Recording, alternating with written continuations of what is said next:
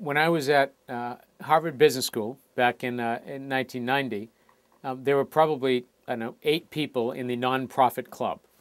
Um, and I think we were looked at slightly askance by other folks because it wasn't the venture capital club or the finance club. Um, now, today on campus, the largest single club at Harvard Business School is the Social Enterprise Club.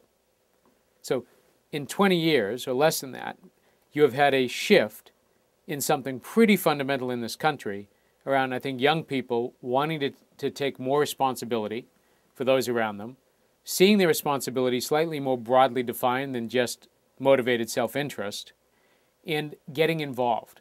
So we have so many more young folks in our colleges and our grad schools today mentoring our students, volunteering, getting involved in service movements like AmeriCorps and Vista.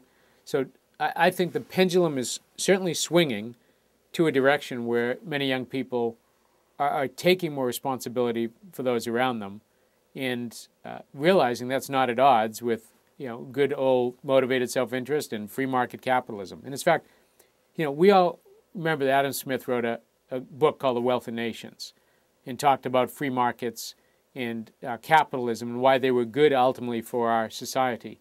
He also wrote another book. It was talking about the theory of moral essentials.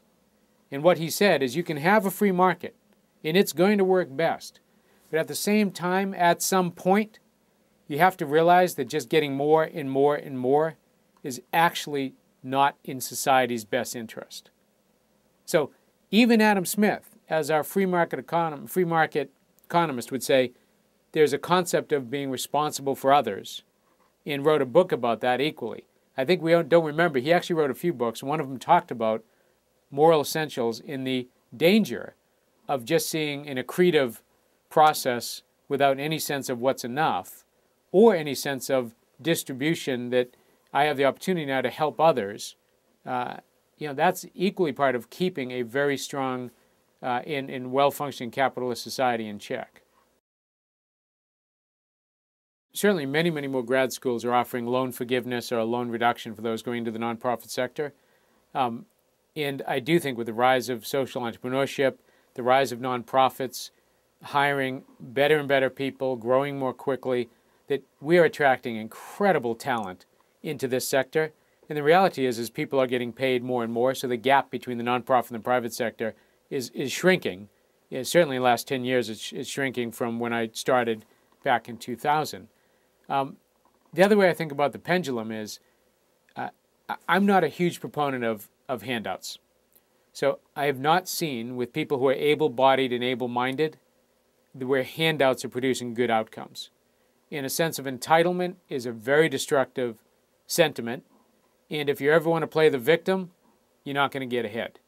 So when I think about that pendulum, it's there's a lot of personal accountability that has to be invested in any nonprofit organization. I think that is serving someone who is able-bodied and able-minded. I mean, there, there are needs for charitable acts, there are needs for handouts for someone who really cannot provide for themselves or is slipped to a place where they literally cannot take care of themselves.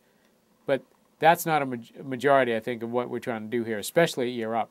We believe you've got to combine deep personal accountability, taking charge of yourself, not saying, uh, woe is me, but saying, I want a chance, I want an opportunity. I mean, America needs to be an opportunity society. And so the young adults we serve want an opportunity. They do not want to hand out, they want to hand up.